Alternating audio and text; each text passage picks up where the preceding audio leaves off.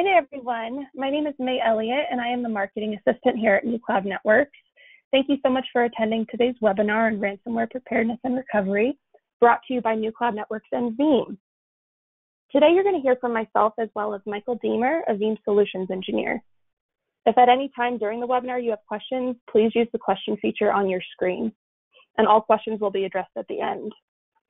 So without further ado, I will go ahead and dive in. All right, so to kick things off, I want to really hit home with a few of the realities of what companies are facing when it comes to ransomware. So the truth is, we as humans tend to belittle the likelihood of an event occurring to us. We hear about ransomware attacks on the news, but we never think it will actually happen to us.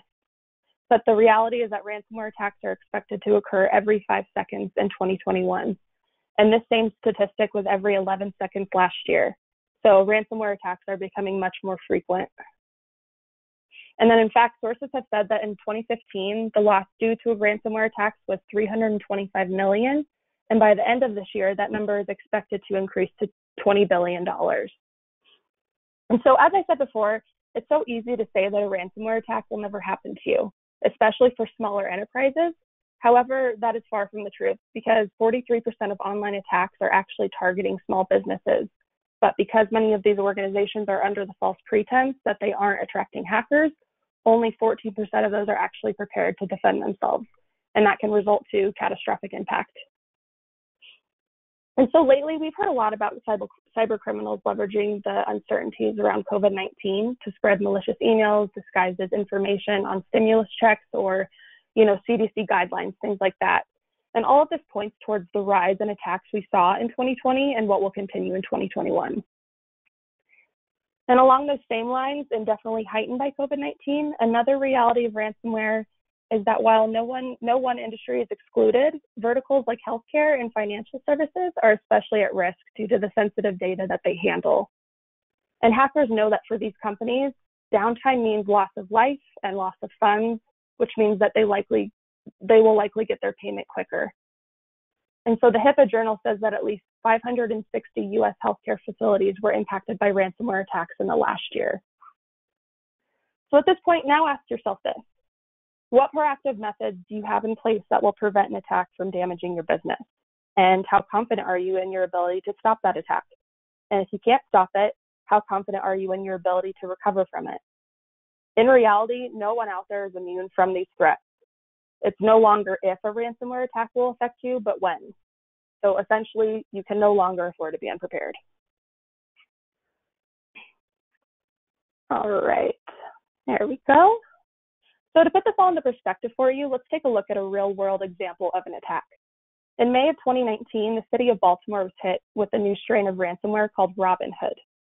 All servers, with the exception of essential services, were taken offline, and a ransomware and ransom totaling around $76,000 was demanded. So the city did not regain full functionality for over a month, and since the attack has pumped over $10 million into remediation, recovery, and the hardening of their IT environment. And meanwhile, the estimated loss in revenue and other damages in the aftermath of the attack equaled $8.2 million, which brought the total cost of the ransomware attack on the city to $18.2 million. So, what happens when we face an attack? What are the costs? So, there's always the monetary costs associated with attacks lost revenue due to downtime, customer attrition, retribution to affected parties, etc., all that stuff. But there's also the non monetary costs we may not think about, like damage to your reputation. Essentially, the IDG tells us that this will all boil down to 6 trillion annually in damages in 2021. And we don't want your company to become part of that statistic. We want to help you prepare in order to minimize these costs as much as possible. All right, so at this point in the webinar, I'm going to now hand it over to Michael to go more in depth about ransomware. Sweet, thank you, May. Good morning and good afternoon, everybody. My name is Michael Deemer, Systems Engineer here for Veeam Software, and I'll be really taking you through the deep dive on ransomware and what we can do to really prevent it, and actually kind of showing you some real life examples. Now, let's actually just kick this off here. Perfect. Let's see when it rolls over. One second. Let me try one more time here.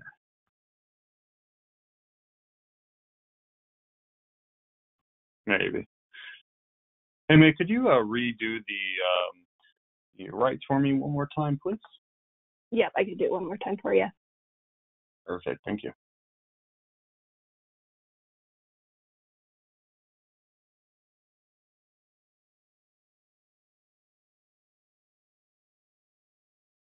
All right. If you could just control the next slide for me, that'd be perfect. Yep, one second. Perfect. So let's actually kind of go over ransomware in the big picture. Uh, but really, what I want to talk about is actually going to be like what is ransomware, right? So um, if you could go to the next slide for me, please, May. You got it?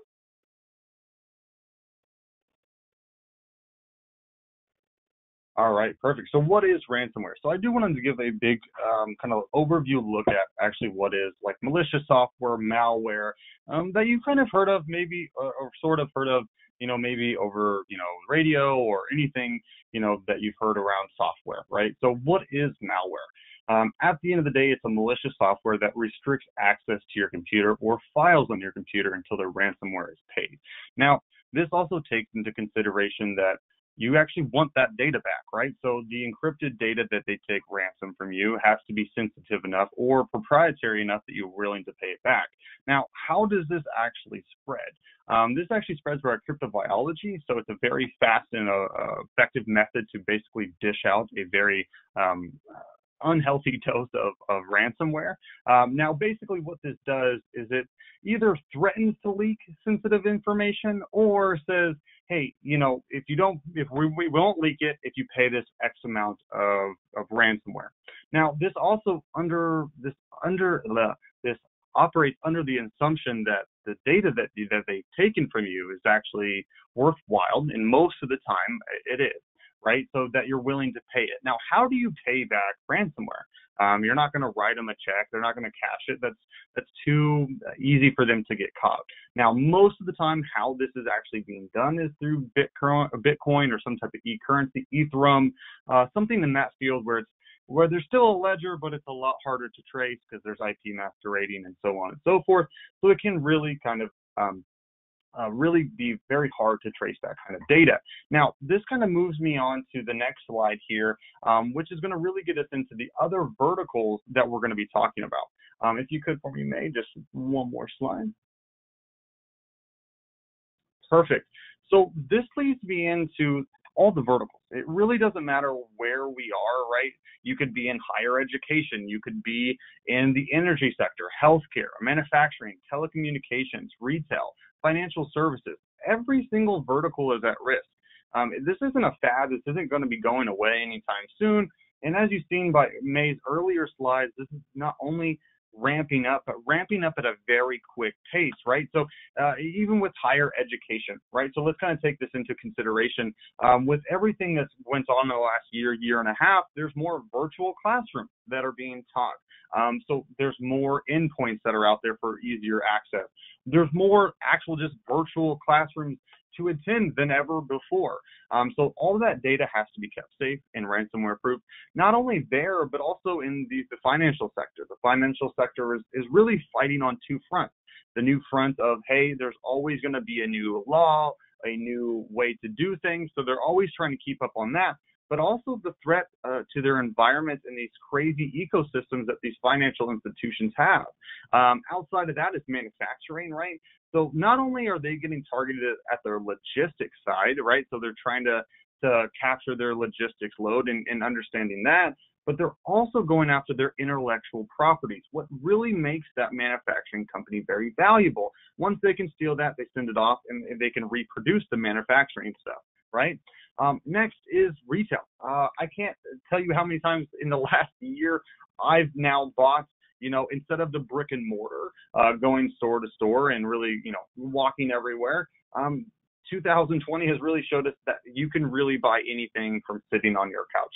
Uh, I, I assume most of you guys know this by now, but I think I've done more retail shopping uh, in 2020 sitting on my couch than ever before. And that also leads open availability for, for other things, right? So not only, and I'll, I'll talk, talk about some common uh, infection approaches here next, but this really goes hand in hand with that. So you're going to see like malvertise, SMS texting, um, anything that gets your attention to go buy more stuff. Now, this also leads me into the healthcare, right? So healthcare, how much information do you give when you go to the doctor, right? All this information has to be very proprietary and, and HIPAA compliant and, and, also very, very, very secure. Um, so this is where ransomware it, it, can get into any sector at any vertical. It really doesn't matter where you're at in this particular spectrum. You can be affected uh, no matter where you are. Um, now, this kind of leads me into talking about some common infection approaches, which is actually going to be on the next slide. If you could for me, May. No problem. Thank you. All right, so some of the common infection approaches. Now, let's kind of talk about this in a very holistic view. Most of the time, you've ever probably heard about some infections. You've probably heard of the word like Trojan horse or malware or some type of exe software, right? So what is what is a Trojan or what is a Trojan horse? So a Trojan horse is mostly common. It's the most common attack vector. So think of email attachments. Uh, what this really is is a malicious macro that's attached to these emails um, that basically say, hey, if you want to spend you know 30 minutes talking to the C- COO, please click here to sign up for these particular times. Or hey, can you fix this time punch if you're in HR, right? Um, there's a whole bunch of ways that they do not only um, uh, malicious macros, but uh, basically social engineering to a degree, trying to make you stumble and click these links so that way you actually fall for it. Now, removable media. This is, to be brutally honest, the simplest way to infect a user's uh, either network or their personal computer. Really kind of depends where that is. Um, now, what's really cool about this, and what I found really cool, is Google and actually two uh, U.S. Uh, universities dropped a USB stick in public, right? Um, and, and what it did is it triggered human curiosity. As us as people, we're very curious. We want to know if there's a million dollars laying on that thing, right? Um, is there something is the is, is, there a key that will unlock success? That's usually the main reason that we're we're trying to stumble for something. Um, now, with 49% of people actually grabbing and plugging it into a computer. Um, that's really huge. I have no problem with somebody plugging in to their computer as long as it's in a virtual sandbox or some type of segregated network. That way, everything stays segregated, no internet access, because what really happens uh, if that was a a malicious software or a, a, malicious act, what will happen is as soon as you plug it in, you make it a trusted device, and then the computer says, hey, whatever you want, you got, right? Um, so if you need to reach out to the internet, you can. And what usually happens at the particular time, especially with you know some type of uh, a, a toolkit or exploit, what it does is it reaches out to a ransomware server and then says, hey, I have a whole bunch of data for you. And then it, it, can do a couple different things, either sends packets back or sends the data uh, vice versa. Now, let's also talk about malvertising. Malvertising is something that you'll see uh, throughout the entire year, but you really see the attackers really step it up around, you know, Christmas time, right? So you'll really see it throughout the holidays. And what they really do is they compromise weak infrastructures. Uh, these weak infrastructures are legitimate advertisement servers, um, like you know Amazon, uh, Google, eBay, anything that's actually legit. And what they actually do is they say, hey, you click on the ad, and instead of going to www.amazon.com, it actually goes to an unlegitimate website um, that that looks very similar, but it's actually just not the same feel, right? So it's just not them. Um, and then what happens? You put in your information, you send it off, you're thinking you're getting this package in a couple days, and the package never arrives. Uh, now what? Now you're looking back and you're like, hey, that's that's a weird charge. That doesn't look like a you know an eBay or an Amazon charge. It has a different LLC attached to it. Um, and then you'll notice that hey, it looks like you've been breached. Um, and you know even worse could happen. Your your information is now on the dark web.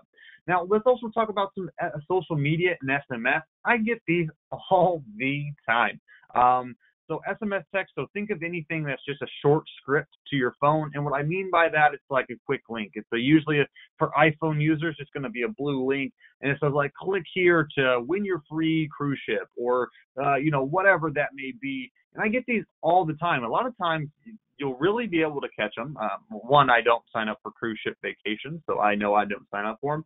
But a lot of times that you'll, you'll notice this is because things are misspelled. It doesn't have proper grammar everything seems a little rushed. It doesn't have the right proper format.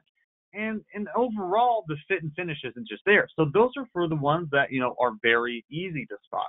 Now there's also going to be some JavaScripts that are very very keen and typed out professionally, uh, and this kind of leads me into ransomware as a service. So ransomware as a service has really gave vast affiliate networks um, the availability to reach more people. Um, what they do is they deploy manage or almost uh, anyone can do this, but um, they go to the dark web, they find a, a ransomware as a service provider, right? Uh, and then they can start to start to try to encrypt or pay for encryptions of certain data sets.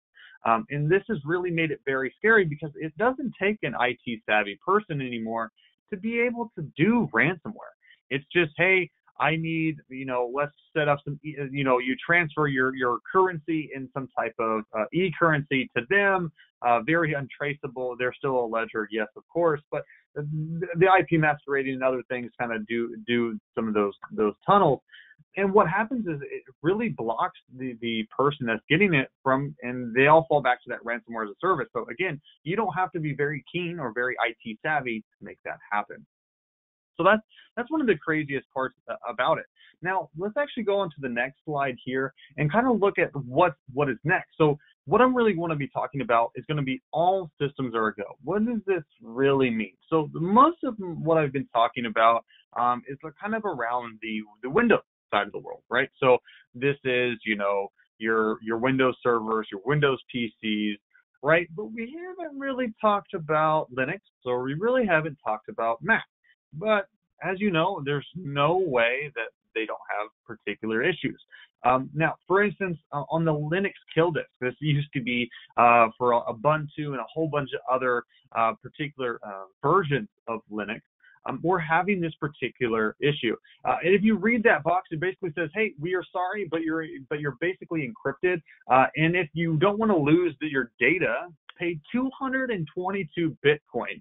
Um, just to give you a little sense how much money 222 Bitcoin is, I think the average Bitcoin is going for about 40K right now. Quick math says that's about 8.8 million dollars, right? So this might have been a little bit of uh, a little bit of older of a snapshot, but the, the same still applies, right? They're still coming after you with bit currency or some type of e currency, as I should say. Uh, and and and also, let me also notate this: just because you pay the money doesn't necessarily mean you're getting the data back. Or if you get the data back, doesn't mean it's not encrypted. Or or if you pay the money, is you might get the data back, it might be corrupted, and you're gonna have to pay again in a week or two because they made another exe inside of there, so they're gonna let you rebuild and capture all that data again. So really making sure that you have some of these verticals that we'll talk about in just a second um, set up to really make sure that that doesn't happen is going to be key. Um, next is for Mac. So this really kind of is very, very simple. Uh, file decoder for ransomware messages. Um, basically, hey, this is how you pay it. And it's the same thing. It, what this really is trying to, to get across, it doesn't matter where you live, in whatever ecosystem. Doesn't matter if you're in a Mac ecosystem, a full-blown Linux ecosystem with XFS and all the cool repositories and everything that goes along with Linux or if you're in a Windows environment, right? It, they're all still vulnerable. Now, what I really want to show you next is going to be kind of malware or, or malware and ransomware and how it actually affects people uh, going forward. So what I want to do next is actually um, just be able to show you mal malware um, in, in, real time. And if you could for me, May, could you hit the next slide for me, please? Perfect. So what this is going to show is malware service, right? So basically what happens right here is it says, hey, you want a new feature.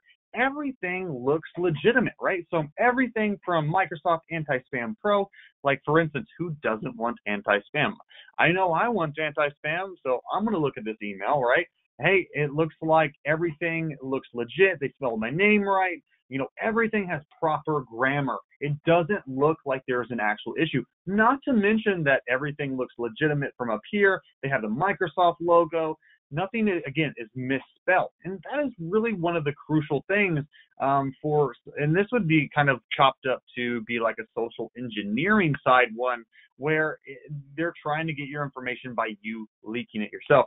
Now, let's just pretend you're going down this rabbit hole and you're like, hey, I want Anti-Spam Pro. Everything looks legitimate. And then you follow this link.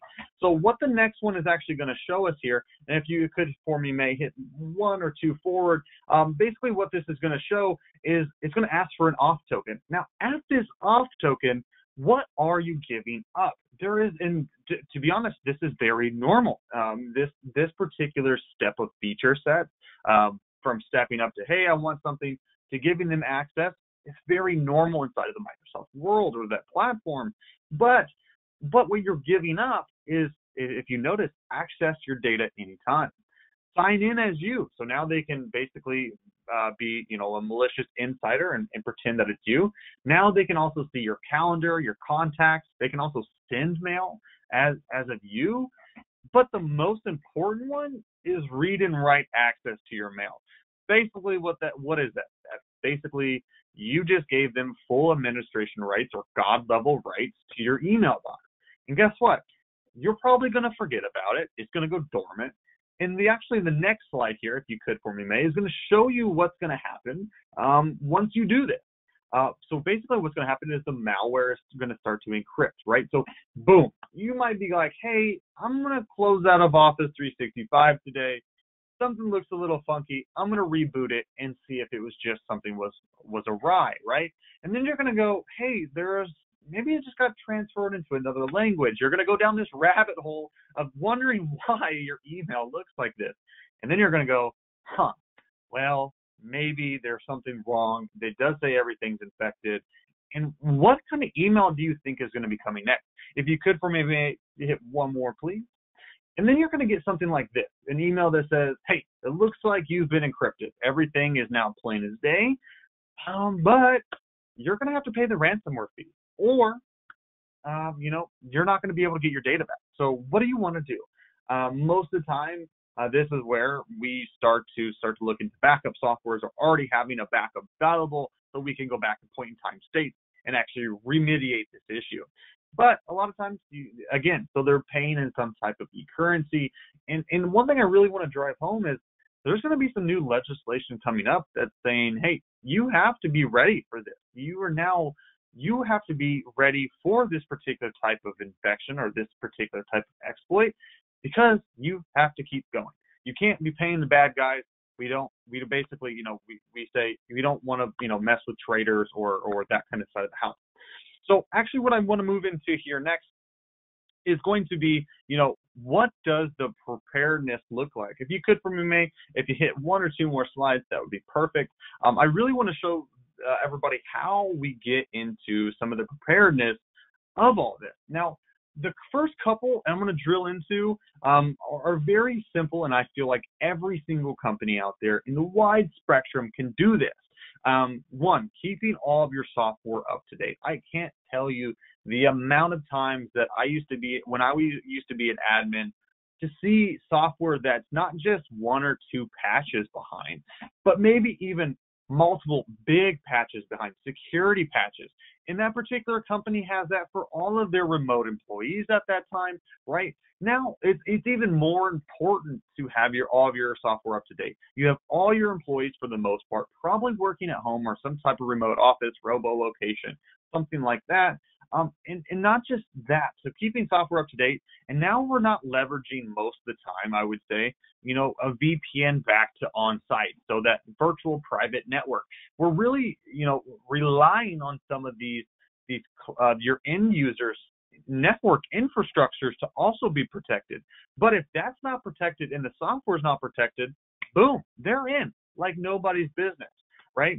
Now, I think this is also one of the biggest things that a company can do, and this is something that you know you could even task your IT professionals that you guys currently have, or maybe even bring in a third party to do this. Is actually perform a, a security threat analysis with your team. What is this called? It's called a, a penetration test. What does this really look at? Basically it finds all your vulnerabilities that you guys have currently today, that you guys have that's open. This could be from anywhere from t- training your staff to you know making sure they're not click happy and clicking on every single thing to hey it looks like you had some firewall rules that need to be locked down you have some ports on your firewall that were wide open and now they can they can see network traffic and start to start to be the intermediary right and, and just doing these particular tests are going to show you you yourself the company your vulnerabilities and what you can do to actually get around them uh, and then uh, not just that number three is training your staff right? I think this is the majority of where things usually go awry is end users, right? So somebody going out there and just click happy through emails and they didn't even know they clicked on it, but it had a malicious, a malicious, you know, software on the back end that attached to their computer, then attached to something else and then it just gets inside of the network infrastructure and there it goes, right?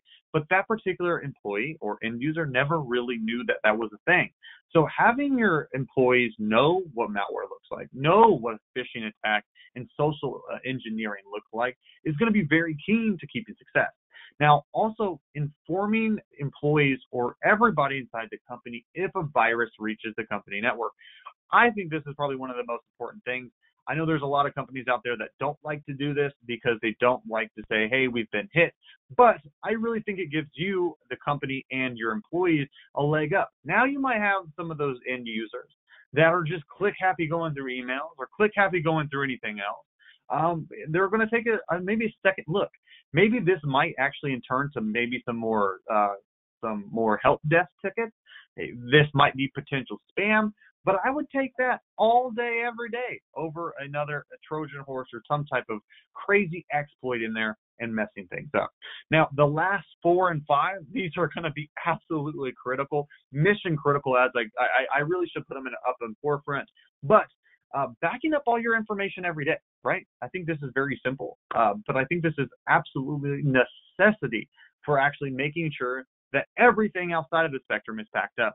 So let's just pretend, let's take this into a little bit of a, a different uh, uh, spear here, right?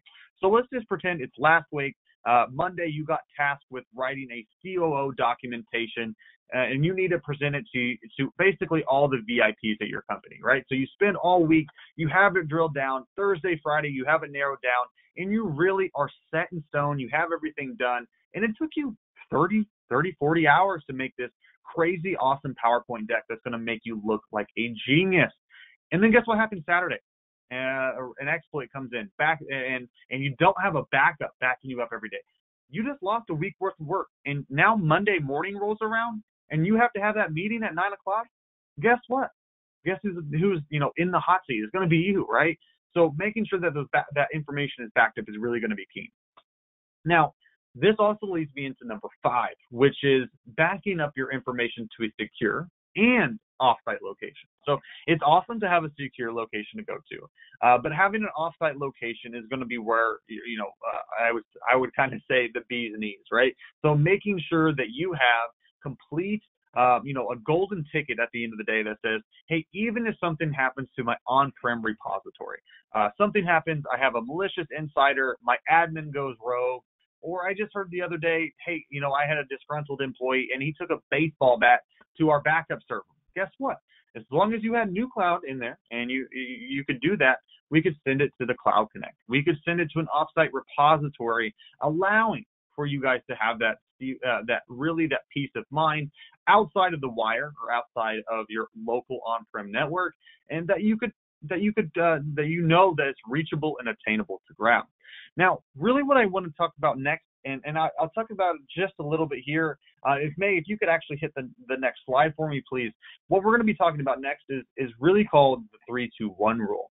Um, now, the three two one rule is really going to be uh, monstrous uh, for what we're really looking to do, um, and and this is very crucial to exactly um, the business need that everybody has. Um, uh, could you hit the next slide for me again, May? Thank you. Um, what this is going to do um, in the 321 rule is, and, and, let me kind of talk very high level. So the very basics of 321 um, is three different copies of your data, two different forms of media, one offsite, usually in a cloud, right?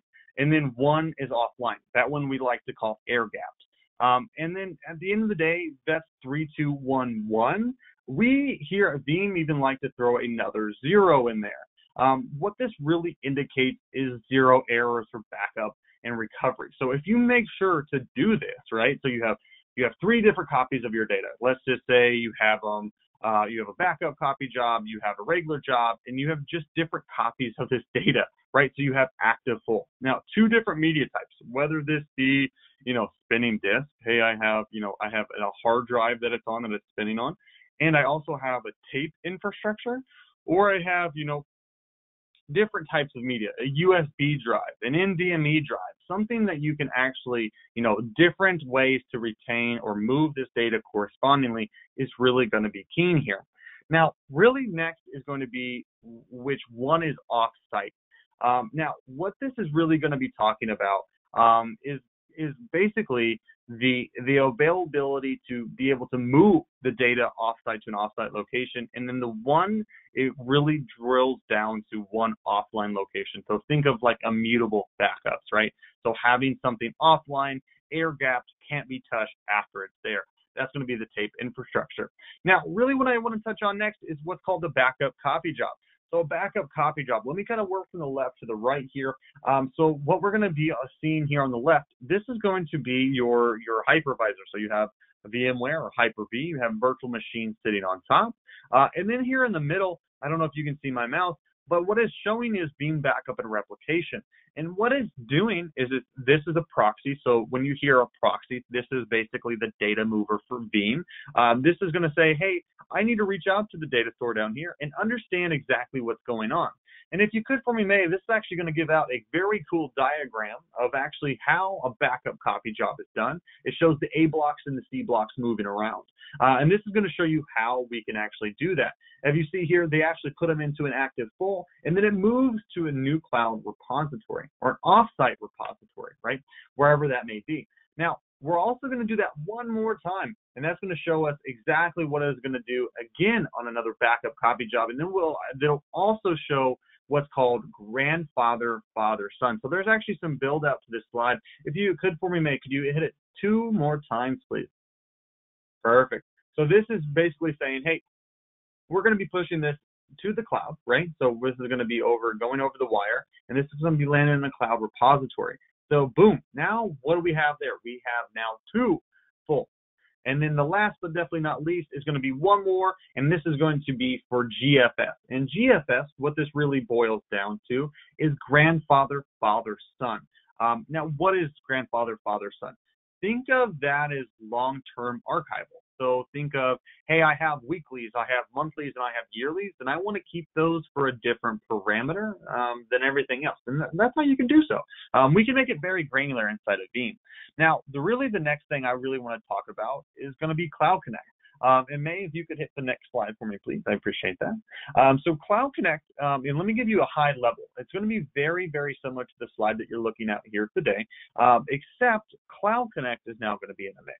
So what is Cloud Connect? So again, on the left-hand side, you have your Veeam backup and replication server sitting in the middle. You have VMware Hyper-V with your virtual machine sitting on top, proxy in the middle, and then your storage repository here. You got your little cloud. And if you could for me May, there's it's actually going to be quite a little bit of build out for me perfect. This is going to show a lot of different feature sets that we can kind of talk here to today. Now, what I want to show about is this is the cloud gateway. It looks like a little gate. Um, this is your on-prem, so you're this is your customer production site. So as a customer, uh, and then this is NewCloud Networks, right? So you have your your cloud or your um, sorry, your cloud gateway.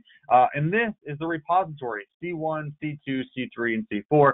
What that really is breaking down is just different layers of blocks um, because every single time we do a backup, it's technically called a block level backup, and we're looking at data blocks. So it's you know there's a lot of different variables to this, um, but this really just shows a whole bunch of different things. Now, if you could for me one more time, uh, hit the slide advance, and this is going to show you uh, basically how we can do this with WAN acceleration. WAN acceleration is another thing that we can get into. WAN acceleration at the very high level um, is basically how we take somebody that doesn't have a great MAG pipe, so their wire on-prem isn't the greatest, but what we can do is we can have like a cache. So basically, this little bubble is a cache, uh, and it sends it over to the WAN, uh, the cloud gateway, and then we also have one on the Cloud Connect side. So they bundle together. You got you got to have you can't have one without the other. All right, perfect. And this is going to next, our next slide is actually going to be talking about a little bit about replication. So let's actually get a little bit into the replication side of the house, um, which is very, very cool. So there's a couple different things that I really want to talk about here, um, which is how does it work? What is WAN acceleration? Again, this is very optional, uh, and, and, and, I should say that WAN acceleration only really works uh, for the clients that are having really bad make pipes. Um, so again, so it's somebody that's you know not necessarily flying off the roofs. They might not have like a 10 gigabit or even a one gigabit network, something that's really slow. You know, maybe a 100 by 100 or, or less uh, WAN acceleration is really going to help. So this is going to be able to say, hey, basically, what is cloud replication? We can use WAN acceleration to do that. But again, um, this is just showing, hey, we can move these virtual machines, replicate them over the wire to the cloud. In this particular case, it's going to be NewCloud, right? Uh, and then these are going to be the virtual machines on a ready, on standby. They're powered off right now. Uh, but these virtual machines are still on. So let's just say you lose virtual machine number four, and it, and then you need to turn it on. You just go over here, left click power on, and your virtual machine is on. So there's a couple different options that we can really be tasked with next. Now on the next slide here that I really want to talk about um, is going to be called insider protection. So what is insider protection? This is something that the service providers, as in NewCloud, can really help with with keeping your backups um, even safer than what you thought. For just an offsite uh, backup, these this is really truly how you can make sure, even if you have a rogue admin. So let's just say you have an admin, you had to let him go, he's very disgruntled, and he tried to purge, or maybe he did purge every single backup that you guys had. Um, so now on your on-prem repository, you're like, great, I have no on-prem repository uh, to fall back to. Um, now, what is this insider protection going to be doing? So what does this do is basically, and let me read this to you. It says added tenant information, so that's you, uh, protection to insiders, right? So basically what this will do, it will preserve all deleted backups for a set a number of days. This might be 14 days, it could be 30 days, it could be 140 days. It really just depends what you're looking to accomplish there. But uh, but this is really going to be talking about hey, you have an extra layer of security even if something happens on prem, malicious insider, if something goes rogue. All right. So next, I really want to get into uh, on the next slide is going to actually be some some actually data protection tips, um, and that's really what we're going to get into in what's called um, you know rotated drives or uh, you know or this really how do we protect this right? So a physical server, whether it's Linux or Windows, um, having it having non-domain membership, right? Uh, making sure it's just not domain to the joint or to, to, joined to the domain is really going to be crucial, right? So making sure that you know it's not seen by every other domain controller. Um, having different creden- uh, credentials, I think this is very very keen. Um, this is where you know setting up longer passwords and maybe some very intricate and very detailed passwords at this particular step could be mission critical. Now, you know, you could always use a password manager, especially if you make these very, very crazy and hectic. Personally, that's what I do. Um, I go to the internet and I have the internet make me the craziest password, especially for firewalls, anything like that. Um, and then also just keeping local accounts and firewalls on, uh, and, and, and everything just needs to be segregated, right? Um, next is going to be direct attached storage. Um, now, offline, except for scheduled backup windows, um, this could be a limitation of the server that you have. That is that is a stipulation, just depending where you're at in the OS build. Definitely, I could see that done. Now, you could always build a PowerShell script to overcome that. Now, a mechanism to turn the system on. Uh, I think that is also mission critical as well. Now, what I really want to talk about here next is actually going to be stronger passwords. So that's actually going to be on our next slide here for me, May. Um, what I really want to talk about um, is just again really kind of get into more of the intricate details. Again, very high level, but they are some intricate details. Uh, Windows credentials. Again, either domain or local uh, account.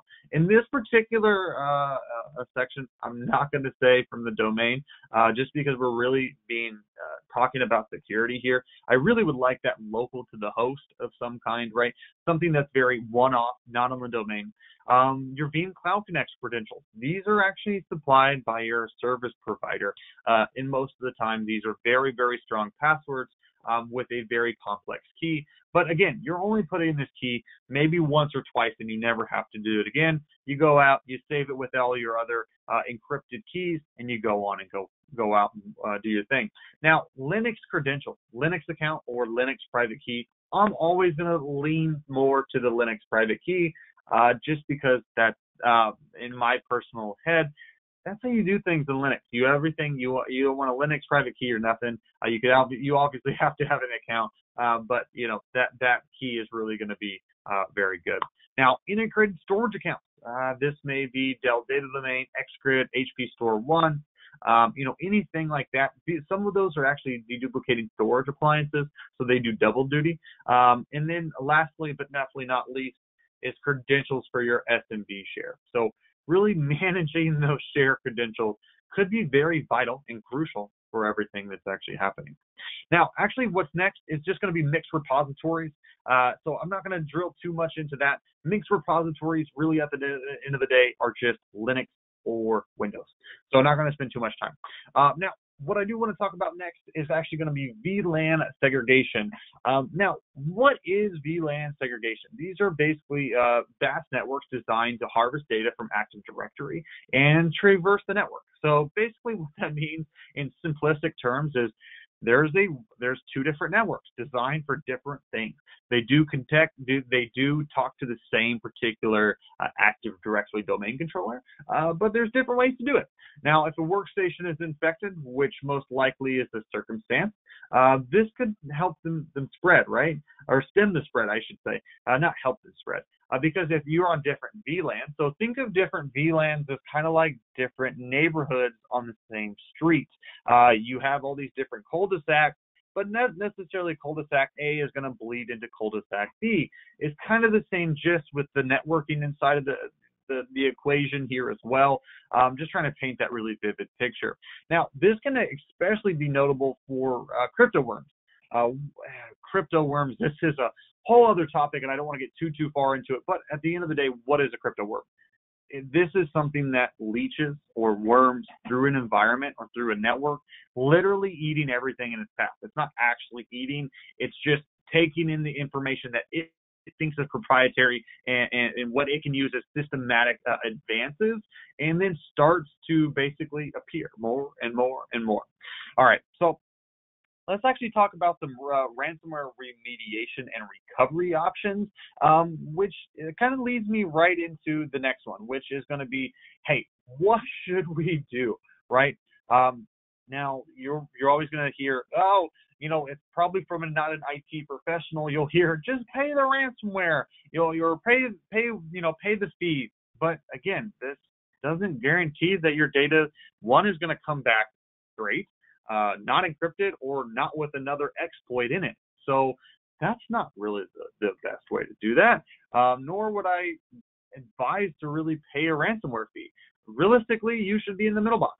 Restore back to an uncompromised data location, right? So going back a point in time state saying, hey, it looks like ransomware got in on Thursday. We're going to revert back to Wednesday, midday. Boom and then also just lo- locate or uh, basically get in contact with the fraud prevention or your crime prevention team that's local in your area, uh, really making sure that they're aware of everything that's going on.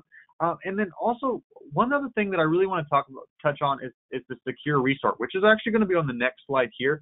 But what is a secure restart? Very good question. So what this really does is this mitigate basically the cleanup uh, to a degree. So let's kind of work from left to right here. So the file downloads and sits stagnant in the file system, right? So boom, it's it's in your file server, it's in your NAS, it's on your you know your your laptop, right? The exploit has now created a leveraged download file. So basically, what it does is it's been backed up. Now what happens is day zero. The backup, right now, it's infected. The launch is now attacked. It knows it's in the window of the backup period. Now your antivirus or your AV becomes aware. Um, hopefully there's a signature building and everything else that's kind of going on in the back end. Uh, you're getting out with different vendors, making sure that that's the per, the right AV and the right signature for you guys. Uh, the AV software releases the signature, says, hey, looks like everything is uh, uh, is uh, basically good now, uh, and then cleanup, day, uh, cleanup of the backup and restore, right? What is this? At the end of the day, this is an isolated environment to perform the latest antivirus test and definition scan against the backup. So what does this do? It kind of makes a, a, a, a, a sandbox, right? So a virtual network inside of that puts in your backup, does an AV scan, make sure there's no uh, lingering bits or bytes of that particular virus around, and then says, hey, it's either you're all golden or your AV goes, hey, you still got some work to do. So it kind of depends what you got there. Now, on the next one here is going to be endpoint devices and the non-virtualized systems. What this really comes down to um, is going to be the the Veeam agent for Linux. Um, the Veeam agent for Linux makes it easy to follow and recommend the offsite location for what we already kind of talked about, air gaps and the 321 rule. Um, this is due to the integration. So it doesn't matter, like I said earlier, if it's a Windows or a Linux agent, we can really get very granular with this. So we can do backup copy jobs, move the files, get that those actual data sets off-site to a different location. And, and, actually moving on next is actually going to be the Microsoft Windows side, right? So the Windows side is actually just going to be able to, just like anything else, uh, is going to be able to show you the the actual log of what's going on, um, which is really cool. So this is going to show, hey, day two, all good. Day or uh, this is actually showing when it's going to the cloud, which is really cool. Uh, but you get your statuses and, and everything else. All right, so um, one of the last things I really want to touch on is going to be the 24-hour uh, real-time monitoring, uh, which is going to be with Veeam One. Uh, Veeam One, what is this? So Veeam One is probably one of the the coolest things that Beam uh, Veeam offers. There's a lot of different things that you can do. There's over 200 baked-in reports, preset alarms, um, possible ransomware monitoring, a spike in CPU usage, uh, you know, latency, uh, latency uh, time parameters. Hey, there's a backup job that normally gets kicked off at, you know, one o'clock in the morning, but now it's getting kicked off at, you know, one in the afternoon, and it's drawing a lot more bandwidth, and it's going to a different location that I'm not used to. It reports on RPO, uh, RTO, SLAs, right? So meeting those particular thresholds, knowing that you're protected is very keen. And then also it resolves the issues very quickly because you're so enveloped, you're so all the way around uh, immersed inside of this environment, um, everything is going to be a lot more beneficial. So at this point in time, I'm going to actually pass it back over to May, one of our Platinum VCSP partners over at NewCloud. And thank you very much. Awesome. Thank you, Michael. Um, so you guys, just based off of what Michael was talking about, the key takeaway here is that NewCloud works close with Veeam to offer your company total ransomware protection. So we do this by combining Veeam software with our ultra low latency cloud network. Um, and this allows you to really create secure, encrypted, and automated backups of your data while getting them offsite quickly and then pulling them back to you when you need them. And so with replication, you can really get granular with your restoration and isolate compromised files and recover the rest of your data. Okay, I want to take a step back quickly and give you some context of who NewCloud is for those of you who might be unfamiliar with us. Um, so we're a cloud services provider. We've been in business since 1988. Our background is in networking, and we've evolved several times over the years to adjust our offerings according to the changes in technology. And so, as such, we've amassed over a thousand customers in the US and in Europe. And as Michael said, we are platinum level partners with Veeam, and we were one of the very first partners to launch Cloud Connect with Veeam. So we've really built a reputation for quality within our industry, and our SLA and customer satisfaction rating do a very good job of exemplifying that. All right. So this map is a breakdown of our nationwide ultra low latency cloud network. So this network is designed and built for backup and disaster recovery. So when we when we talk about backup and disaster recovery, it's important to have your data far enough away from your main site so that it won't be affected by the same natural disaster, but it's close enough so that it's usable when you actually need to stand up those VMs. And so NewCloud, we control the bandwidth and the latency between all of these locations to ensure that the customer's data is always usable. So if your customer is hit by ransomware, or if your excuse me, if your company is hit by ransomware, this means that we can get your backups and replicas back to you quickly, and that helps eliminate downtime. All right. And so we work hand in glove with Veeam to bring our customers best in breed solutions. So we have the variety of Veeam offerings that we support. Our engineers are Veeam certified and they implement technology very fast. And so we offer the full suite of Veeam backups and disaster recovery services. At Cloud Networks, we believe that great technology is powered by great people. We're always being asked what sets us apart from the likes of Amazon and Microsoft, and our answer is always the same. We believe in personalized service, not a 1 800 number. Our customers can always rest assured that we have top engineers available to them 24 hours a day, seven days a week, 365 days a year. And we know that no two companies are the same, so we don't believe in cookie cutter kind of cloud solutions.